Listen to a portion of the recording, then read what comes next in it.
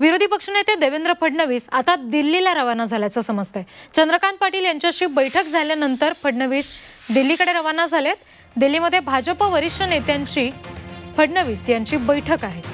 आणि राज्यातल्या राजकीय स्थितीवर या बैठकीमध्ये चर्चा होईल. तेव्हा आता सगळ्यांचंच याकडे लक्ष लागले विरोधी पक्षनेते देवेंद्र फडणवीस हे दिल्लीला रवाना झाल्याची माहिती समजतीये. चंद्रकांत पाटील यांच्याशी बैठक झाल्यानंतर आता फडणवीस दिल्लीकडे रवाना झाले दिल्लीमध्ये भाजपच्या वरिष्ठ नेत्यांसोबत फडणवीस यांची बैठक आहे. राज्यातल्या एकंदरीत राजकीय स्थितीवर यामध्ये चर्चा होऊ शकते. छत्रपतींचा विचार म्हणजे